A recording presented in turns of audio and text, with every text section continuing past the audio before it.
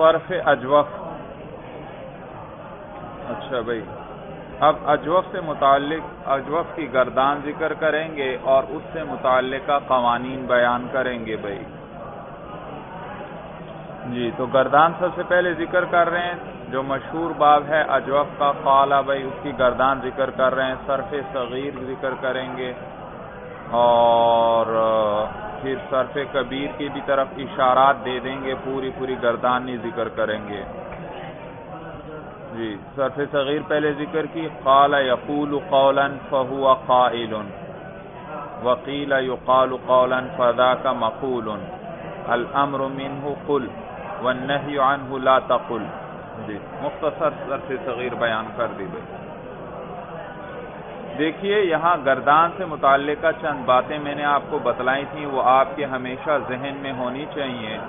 سب سے پہلی بات تو یہ ذکر کی تھی کہ قال یقول قولا یہ قولا مصدر آتا ہے، گردانوں میں ہم پڑھتے ہیں، یہ منصوب کیوں ہوا کرتا ہے؟ کیا وجہ میں نے ذکر کی تھی؟ کہ مفعول مطلق ہوتا ہے۔ مفعول مطلق کس کو کہتے ہیں؟ وہ فیل جو جو ماقبل، وہ مصدر جو ماقبل فیل کے معنی میں ہو، اسے کیا کہتے ہیں؟ مفعول مطلق کہتے ہیں۔ تو یہاں بھی قول، مصدر، ماقبل فیل یعنی یقولو کے معنی میں ہے، تو یہ مفعول مطلق ہوا اور یہ منصوب ہوتا ہے۔ دوسری بات یہ ذکر کی تھی میں نے آپ سے کہ فہوا قائل اور فضا کا مقول۔ یہ اس میں فائل جو ہے قائل اس کے لیے ہوا، ضمیر کیوں لائے؟ اور آگے اس میں مفعول جو آتا ہے، اس کے لیے ذا کا اس میں اشارہ کیوں لاتے ہیں؟ وجہ یہ میں نے بیان کی تھی، کیونکہ فائل قوی ہوتا ہے تو اس کے لیے ضمیر لائے، کیونکہ ضمیر قوی ہے۔ اور مفعول ضعیف ہے تو اس کے لیے ضعیف لائے، کیونکہ اس میں اشارہ بھی کیا ہے؟ ضعیف ہے۔ کس چیز میں ضعیف ہے، اس میں اشارہ، اور کس چیز میں قوی ہے، اس میں ضمیر؟ بھائی میں نے بتلایا تھا تعریف کے اندر۔ یہ جو آپ پڑھتے ہیں، معرفہ کی چھ سات قسمیں پڑھتے ہیں؟ یاد رکھو، ان میں تعریف برابر درجے کی نہیں ہے۔ کسی میں تعریف زیادہ ہے، کسی میں تعریف کم ہے۔ تو وہاں پر ترتیب ہے نحو کی کتابوں کے اندر۔ وہاں آپ نے پڑھا کہ سب سے زیادہ تعریف ضمیر کے اندر ہے۔ پھر ضمیروں کے اندر سب سے زیادہ تعریف متکلم کی ضمیر کے اندر ہے بھائی۔ پھر مخاطب کی، پھر غائب کی بھائی۔ تو اس میں اشارہ کا درجہ ضمیر کے بعد آتا ہے۔ تو معلوم ہوا ضمیر قوی درجے کا معرفہ اور اس میں اشارہ اس سے اس سے کم درجے کا معرفہ۔ تو فائل کے لیے، اس میں فائل کے لیے قوی معرفہ لائے اور اس میں مفول کے لیے کم درجے کا معرفہ لائے۔ تعریف کا معنی پہچاننا بھائی پہچان۔ ضمیروں کے اندر پھر بھائی میں نے بتایا سب سے زیادہ تعریف متکلم کی ضمیر میں ہے، کیونکہ انسان سب سے زیادہ اپنی ذات سے واقف ہوا کرتا ہے بھائی اس کے بعد تعریف جو ہے مخاطب کی ضمیر کے اندر ہے، کیونکہ مخاطب سامنے موجود ہے، اس کی خوب اچھی طرح پہچان ہے، کسی قسم کا اشتباہ نہیں۔ جبکہ تیسرے درجے پر غائب ہے مولانا، اس کا درجہ کیا ہے؟ تیسرا ہے بھائی۔ دوسری بات یہ کہ فہوا قائل، تو یہ لے کر آئے مولانا۔ سوال پیدا ہوتا ہے کہ اس کو لانے کی کیا ضرورت تھی بھائی؟ یہ ہوا ضمیر اور اس میں اشارہ کو لانے کی کیا ضرورت تھی؟ اس کے بغیر ہی کہہ دیتے۔ وجہ یہ مولانا کہ اس میں اشارہ یا یہ ضمیر جو ہے، یہ مبتدا بنے گی اور اس میں فائل اور اس میں مفول کیا بن جائیں گے؟ خبر بن جائیں گے۔ تو ہم نے اس کے اوپر اعراب پڑھنا ہے اور اعراب کے لیے کیا ضروری ہے؟ جی کہ وہ لفظ ترکیب میں واقع ہو تو پھر اس کو، اس پر رفع نصب یا جر پڑیں گے بھائی۔ تو لہذا جب یہ جملہ بن گیا تو ہوا ہوا مبتدا اور قائل اس کی خبر اور مبتدا اور خبر دونوں مرفوع ہوتے ہیں۔ تو لہذا قائل پر کیا ہوا؟ رفع پڑا گیا، جبکہ ہوا تو مبنی ہے۔ اسی طرح زا کا مقولن کے اندر زا کا اس میں اشارہ مبتدا ہوا اور مقولن اس کی کیا ہوئی؟ خبر. تو لہذا اب اس پر رفع پڑنا صحیح ہو گیا بھائی۔ یہاں تک بات سمجھ میں آ گئی بھائی؟ جی۔ اب صرف کبیر ذکر کر رہے ہیں۔ دیکھیے کہتے ہیں صرف ماضی معلوم یعنی گردان ماضی معلوم جو ہے، وہ یہ ہے۔ کالا کالا کالو الا آخری ہی یہ الف جو لکھا ہے، یہ الا آخری ہی لفظ۔ اس الا آخری ہی پڑھتے ہیں یعنی آخر تک ہے یہ گردان اسی طرح۔ وہ مجھول اور ماضی مجھول کی گردان قیلا قیلا، قیلو الا آخر ہی آخر تک گردان اسی طرح پڑھ لیجیے۔ مستقبل معروف یعنی مزار معروف، یقول، یقولان، یقولون الا آخر ہی، آپ پڑھ چکے ہیں ساری بھائی۔ وہ مجھول مزار مجھول بھائی، یقال، یقالان، یقالون الا آخر ہی۔ امر حاضر بھائی، قل، قولا، قولو، قولی الى آخری، آخر تک گردان اسی طرح ہوگی۔ اس میں فائل کی گردان بھائی قائل قائلان، قائلون قائلت قائلتان قائلات بھائی۔ اس میں مفعول کی گردان بھائی مقول مقولان، مقولون مقولت مقولتان مقولات الظرف منہ ظرف بھائی، اسی سے باب سے۔ مقال آئے گا۔ والآلت منہ مقوال بھائی۔ و مقولتن و مقوال میں نے بتلایا تھا فرق بھائی مقول کیا ہے؟ آلائے صغرا۔ مقولتن آلائے وسطا اور مقوال آلائے کبرا ہے بھائی۔ قال در اصل قولا بوداست قال در اصل قولا تھا مولانا۔ وہ الف گشت وہ الف ہو گیا، قال شد، قال ہوا بھائی۔ وہ متحرک تھا ماقبل فتحہ تھا، اس وہ کو کس سے بدل دیا گیا؟ الف سے بدل دیا، قال ہوا۔ بھائی آپ نے گردانوں کے اندر موٹا قانون پڑھا تھا، بنیادی قانون، اس کی شرائط ہم نے ذکر نہیں کی تھی۔ قانون کیا پڑھا تھا؟ وہ یا متحرک ہو ماقبل فتحہ ہو، تو اس کو کس سے بدل دیتے ہیں؟ اس وہ یا کو الف سے بدل دیا جاتا ہے۔ آج یہ صاحب کتاب اس کی شرائط ذکر کریں گے بھائی پھر دیکھیے قانون کتنا مشکل اور پیچیدہ ہو جاتا ہے بھائی۔ سمجھ میں آیا؟ تو وہ گردانوں کے اندر یہ فائدہ ہے کہ موٹا قانون یاد ہو گیا اور قانون ہی یاد ہونا چاہیے اصلا۔ سورج سمجھ میں آ گئی؟ شرائط تو جہاں قانون نہیں لگ رہا وہاں ضرورت پڑے گی۔ بھائی، یہاں قانون تو لگنا چاہیے تھا، کیوں نہیں لگ رہا؟ پھر آپ کے ذہن میں فوراً آ جائے گا بھائی ہاں یہاں پر یہ والی شرط کیا ہے؟ پوری نہیں ہو رہی بھائی۔ جی تو وہ بڑا بہترین طریقہ ہے گردان کے اندر بھائی۔ دیکھیے قانون اب ذکر کرنے لگے ہیں۔ ہر واوے و یائے کے متحرک باشد، ہر وہ و اور یا جو کہ متحرک ہو، بحرکت لازمی۔ کس کے ساتھ متحرک ہو؟ حرکت لازمی کے ساتھ یعنی اس کی حرکت لازمی ہو۔ دیکھو، پہلی شرط آ گئی مولانا۔ وہ یا ہم نے تو کیا کہا تھا؟ وہ اور یا متحرک۔ انہوں نے کیا بتلا دیا کہ وہ حرکت کیسی ہونی چاہیے؟ لازمی ہونی چاہیے۔ عارضی حرکت مراد نہیں ہے۔ بھائی، باغے دیکھنا، عارضی حرکت آئے گی، اس کا اعتبار نہیں کریں گے۔ تو کہتے ہیں، حرکت لازمی کے ساتھ متحرک ہو۔ وباد ہو الف تسنیا و الف ضمیر و حرف ساکن کے لازم بوت تحقق او و سکون او نباشد۔ اور اس و اور یا متحرک کے بعد الف تسنیا یہ بھی نہ ہو، آگے آ رہا ہے نباشد بھائی سوریوں کی خبر ایک ہی ہے۔ الف تسنیا نہ ہو مولانا، اور وہ الف ضمیر نہ ہو۔ الف تسنیہ بھائی، یہ جو اسم کے اندر الف آ رہا ہے، یہ الف تسنیہ ہے یعنی صرف تسنیہ کی علامت ہے۔ رجل رجولان یہ الف کیا ہے؟ تسنیہ کی علامت ہے۔ جبکہ فیل کے اندر جو الف آتا ہے وہ ضمیر ہوتا ہے۔ زارابا زارابا یہ الف کیا ہے؟ ضمیر ہے مولانا۔ تو کہتے ہیں اس وور یا متحری کے بعد الف تسنیہ بھی نہ ہو اور الف ضمیر بھی نہ ہو۔ وہ حرف ساکن اور ایسا حرف ساکن کہ لازم بواد تحقیق، تحقق او کہ لازم ہو اس کا ہونا۔ تحقق کا معنی ہونا۔ کہ لازم ہو اس کا ہونا۔ وہ سکون او، اور اس کا سکون۔ یعنی ادھر دیکھو بھائی وہ یا یا متحرک ہیں۔ ان کے بعد ایسا حرف ساکن نہ ہو، جس کا ہونا ہونا بھی ضروری اور اس کا سکون بھی ضروری۔ جیسے آگے مثال آئے گی، سوادن۔ دیکھو وہ متحرک۔ ما قبل فتحہ، اس واؤ کو تو کس سے بدلنا چاہیے؟ الف سے، لیکن اس کے بعد ایک الف آ رہا ہے۔ اور اس الف کا ہونا ضروری ہے۔ اور نیز الف کیا ہے؟ ساکن، اس کا ساکن ہونا بھی ضروری ہے۔ تو لہذا یہ جی یہ شرط ہوئی مولانا کہ اس و یا کے بعد ایسا حرف ساکن کے لازم بابت تحقق او و سکون او، کہ لازم ہو اس کا ہونا اور اس کا سکون نہ باشد۔ یہ چیزیں نہ ہوں۔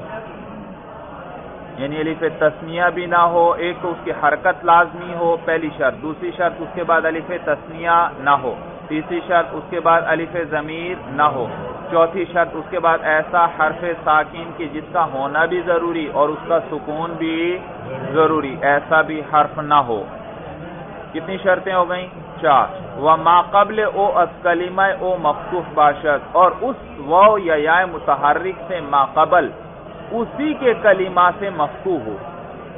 اسی کے کلمہ سے یعنی وہ اور یا متحرک ہے ماقبل فتحہ ہے۔ یہ جو ماقبل کا فتحہ ہے، اسی کلمے میں سے ہے۔ کسی اور حرف کو ہم نے بڑھایا نہیں۔ اور حرف کو نہیں بڑھایا۔ آگے مثال آئے گی مولانا، جیسے لا یقولن کیا مثال آئے گی؟ لا یقولن لا یا، دیکھو، یا متحرک ہے، ماقبل کیا ہے؟ فتحہ ہے، لیکن تو اس کو تو علی سے بدلنا چاہیے تھا، تو جواب دیں گے، بھائی یہ جو لام آیا، یہ اسی کلمے کا نہیں ہے، یہ تو تاکید کے لیے ہم نے بڑھایا ہے، بھائی۔ تو انہوں نے کیا شرط لگا دی؟ پانچویں، کہ ماقبل او اس وور یا متحرک سے ماقبل، از کلمہ او اسی کلمہ سے مفتوح باشد۔ مفتوح ہونا چاہیے کسی اور کلمے سے نہ ہو۔ و یا محمول، بر و یا صحیح، ضروری، نہ باشد بھائی کتنی شرطیں ہوئی تھیں؟ جی پانچ۔ چھٹی شرط و آ و یا اور وہ اور وہ و اور یا۔ محمول، وہ محمول نہ ہو بر و یا ایسی و اور یا پر صحیح ضروری کہ جن کے صحیح رکھنا ضروری ہو۔ یعنی اس و اور یا کو و اور یا ہی رکھنا ضروری ہے، اس کو الف سے بدلنا ضرور بدلنا جائز نہیں۔ جیسے آگے مثال آئے گی مولانا آویرا آویرا و متحرک، ما قبل کیا ہے؟ فتحہ اس کو کس سے بدلنا چاہیے؟ الف سے بدلنا چاہیے، لیکن نہیں بدلا، کیوں؟ وجہ ذکر کریں گے، کیونکہ یہ اعورہ پر محمول ہے۔ کس پر یعنی اس عویرہ کا وو اعورہ کے وو پر محمول ہے، اور اعورہ کے اندر وو کو صحیح رکھنا، اسی طرح سالم رکھنا یعنی الف سے نہ بدلنا، یہ ضروری ہے۔ اعورہ کے اندر کیا ہے؟ وو کو سالم رکھنا، صحیح رکھنا۔ تو یہ عویرہ کا وو ایسے وو پر محمول ہے جس کا صحیح رکھنا ضروری ہے۔ سمجھ میں آیا؟ تو چنانچہ یہ بھی شرط لگا دی کہ وہ و اور یا محمول بر و و یا آپ کی کتاب میں یا ہے یا ہونا چاہیے مولانا یہاں۔ یا صحیح ضروری نہ باشد۔ اس وہ اور یا محمول ایسے و اور ایسی یا کہ ان کا صحیح رکھنا ضروری ہو، ان نہ باشد۔ ان پر محمول نہ ہو گئی نباشت کا تعلق کس سے ہے؟ محمول سے، یہ اس کی خبر ہے مولانا۔ محمول، ان پر محمول نہ ہو۔ کس پر محمول نہ ہو؟ ایسے اور یہاں پر جن کا صحیح رکھنا ضروری ہے، ان پر محمول نہ ہو۔ وہ مس، یہ کتنی شرطیں ہو گئیں؟ چھ۔ وہ مصدر بروزن فعلا و فعلان نہ باشد فعلا اور فعلان میں عین پر فتحہ پڑنا ہے۔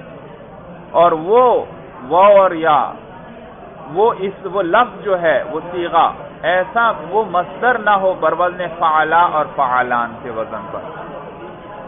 فعلا اور فعلان کے وزن پر وہ مصدر نہ ہو، اگر فعلا یا فعلان کے وزن پر ہوا، تو پھر اس صورت میں اعلال نہیں کریں گے، اس و اور یا کو الف سے نہیں بدلیں گے۔ اور یاد رکھیے مستر کی قید مصنف نے بڑھا دی، حالانکہ مستر کا لفظ ذکر نہیں کرنا چاہیے تھا۔ چاہے مستر ہو، چاہے مستر کے علاوہ کوئی اور اسم ہو، مولانا۔ جب وہ فعلا یا فعلان کے وزن پر ہو، تو اس کے اندر پھر اعلال نہیں کرتے، یہ وور یا کو فتح الف سے نہیں بدلتے بھائی۔ کتنی شرطیں ہو گئیں؟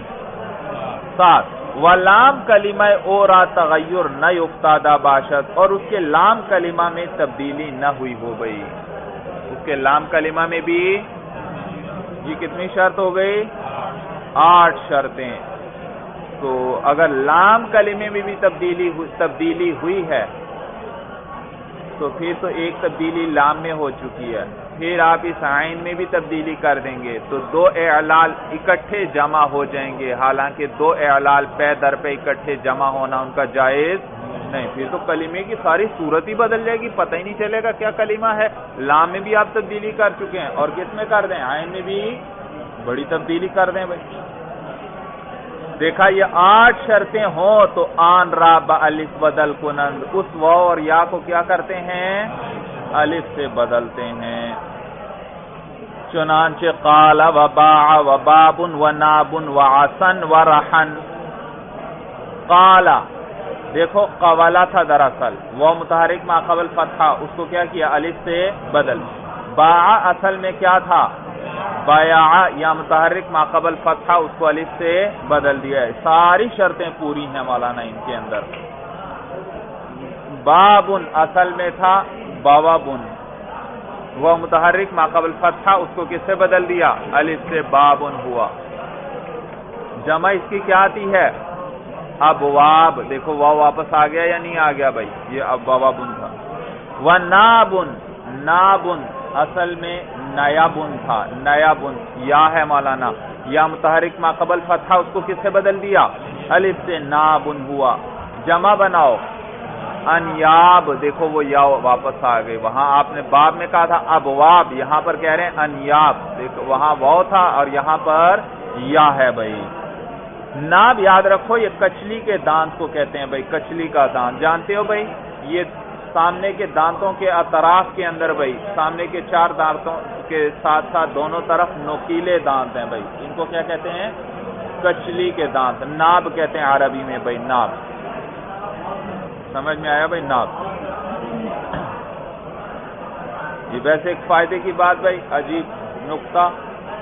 دیکھو، جتنے گوشت خور جانور ہیں، ان کو اللہ تعالیٰ نے سارے نوکیلے دانت عطا فرمائے ہیں۔ کتا، شیر، چیتا، بلی، یہ کیا ہیں؟ گوشت خور ہیں۔ تو ان کے دانت نوکیلے ہیں، کیونکہ گوشت کھانے کے لیے نوکیلے دانتوں کی ضرورت پڑتی ہے۔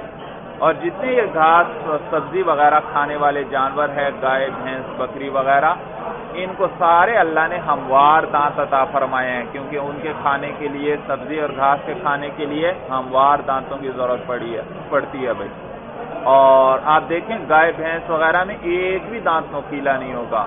شیر وغیرہ میں دیکھیں، ایک بھی دانت ہموار نہیں ہوگا۔ ایک ہی قسم کے دانت دیے گئے ہیں۔ لیکن انسان کو اللہ نے دونوں طرح کے دانت دیے ہیں۔ بھائی اشارہ ہے اس بات کی طرف کہ یہ گوشت بھی کھا سکتا ہے اور سبزی تو گوشت بھی کھا سکتا ہے اور سبزی دونوں بھائی۔ جی وہ آسا وہ آسن بھائی آسن اصل میں تھا آسا ون آسا ون جی۔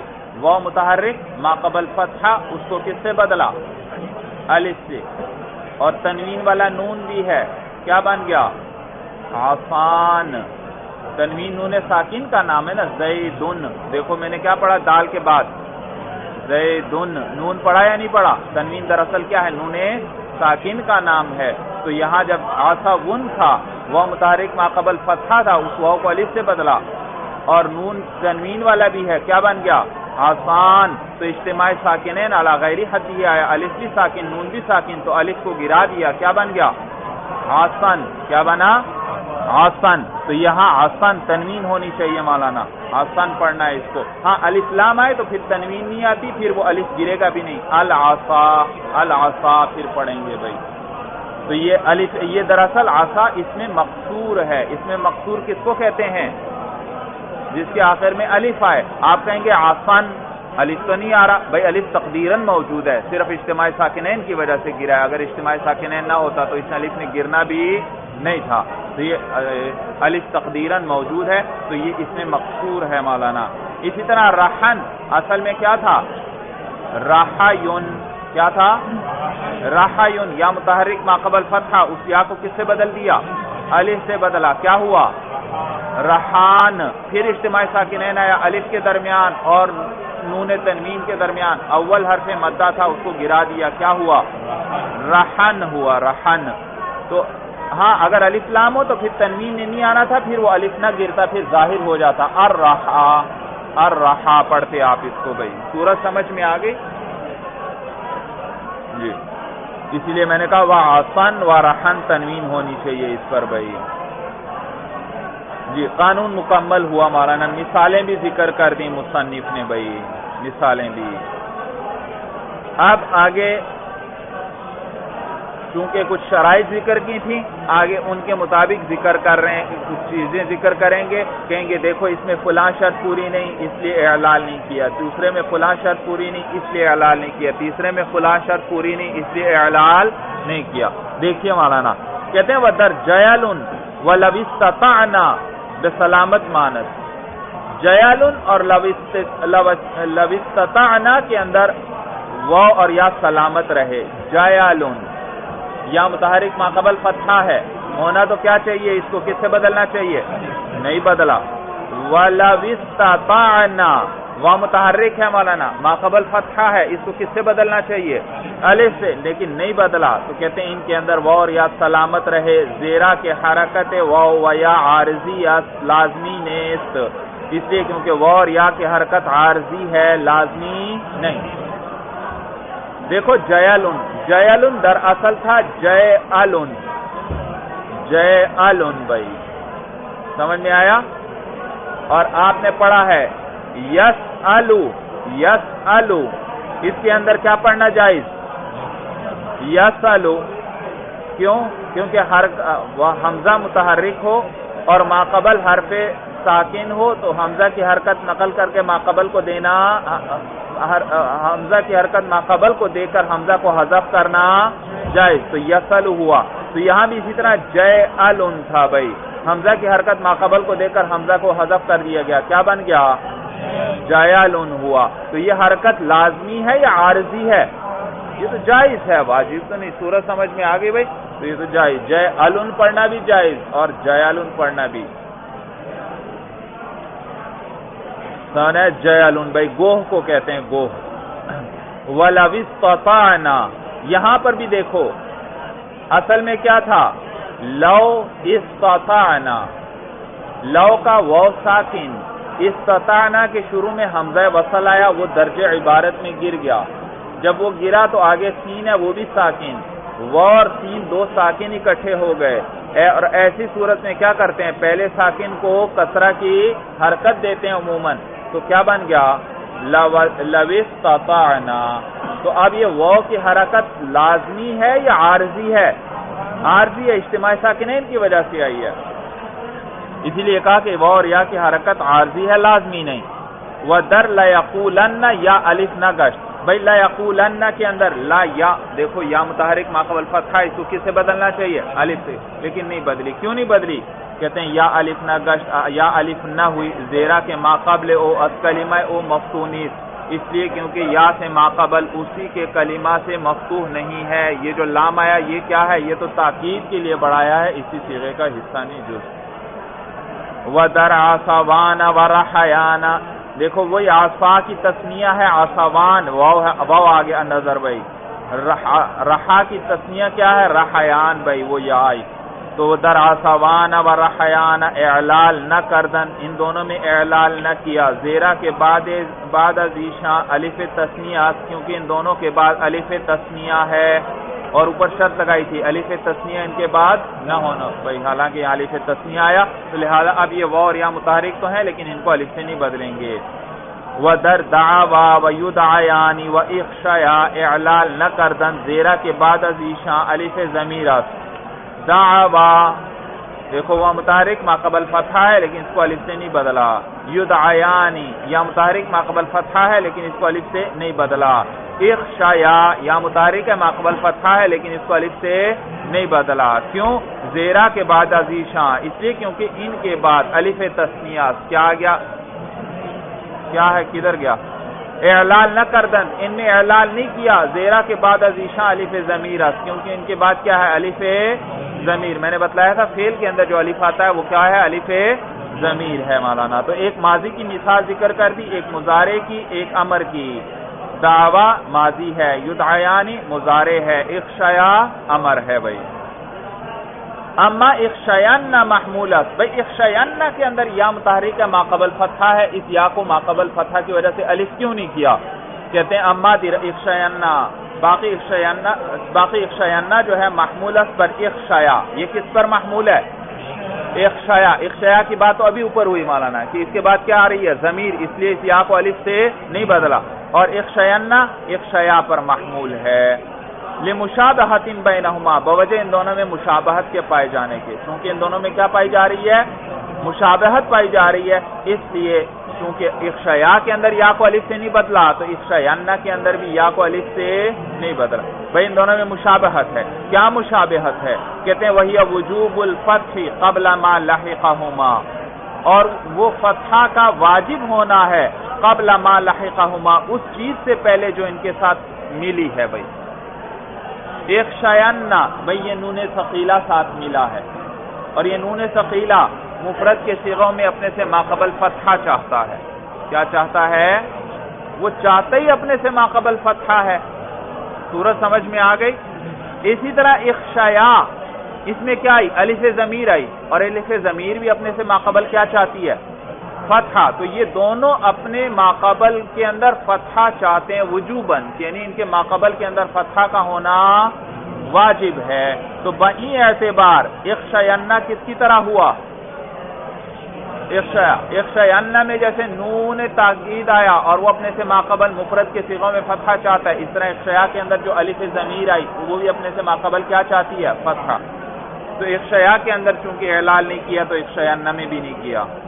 وجہ سمجھ میں آ گئی تو مشا تو افشینا محمول ہے افشیا پر بوجہ دونوں میں مشابہت کے پائے جانے کی وہی وجوب الفتح قبل ما لحقہما، اور وہ فتح کا واجب ہونا ہے، اس سے ماقبل جو ان کے ساتھ ملا ہے۔ کیا ملا افشینا کے ساتھ؟ نون تاکید۔ اور افشیا کے ساتھ کیا ملا ہے؟ الف۔ دونوں اپنے سے ماقبل کیا چاہتے ہیں؟ فتح چاہتے ہیں۔ ودر سواد ان و بیاض ان سلامت مانت اور سواد ان اور بیاض ان میں بھی وور یا متحرک ہے ماقبل فتح ہے، لیکن یہ سلامت رہے۔ زیران سے بعد ازیشاں حرف ساکینت اس لیے کیونکہ ان کے بعد کیا آیا؟ الف آ رہا ہے وور یا کے بعد۔ وہ حرف ساکین ہے کہ لازم الوقوع کے جس کا واقع ہونا لازم ہے بھائی۔ سمجھ میں آیا؟ ہم نے کہا تھا اس کے بعد حرف ساکین لازم نہیں ہونا چاہیے، لیکن یہاں پر ہے، اس سے نہیں بدلیں گے۔ بخلاف دعت و رامت بخلاف دعت اور رامت کے بھائی۔ بھائی دعت اور رامت اس کے اندر اصل میں دعت کیا تھا؟ دعوت تھا بھائی۔ اور رمت کیا تھا؟ رمایت۔ یہاں وہ اور یا کو الف کر کے پھر گرا دیا گیا۔ بھائی، یہاں وہ اور یا کو الف کیوں کیا؟ یہاں بھی تو تا ساتھ ملی ہے ساکن۔ کہتے ہیں، بھائی ٹھیک ہے، ساکن تو آیا، لیکن اگر ساکن لازم ہو، کیا ہو؟ ساکن لازم ہو تو پھر وہ اور یا کو نہیں بدلتے۔ اگر ساکن لازم نہ ہو تو وہ اور یا کو کیا کر دیتے ہیں؟ علی۔ اور یہ تا بھی لازم نہیں ہے۔ جب فیل کا اسناد مونت کی طرف کریں گے تو یہ تا آئے گی۔ مونت کی طرف اسناد نہیں کریں گے تو یہ تا بھی نہیں آئیں گی نہیں آئے گی دعا میں کوئی تا ہے؟ نہیں۔ دعوا میں؟ نہیں۔ تو ہر سیغے میں یہ تا، مال یہ تا تو لازم نہیں ہے۔ کبھی آئے گی اور کبھی نہیں۔ اور ہم نے تو کیا کہا تھا؟ ایسا ساکن ہو جس کا ہونا لازمی ہو، پھر نہیں بدلیں گے۔ لیکن یہ تو ایسا ساکن نہیں ہے بھائی۔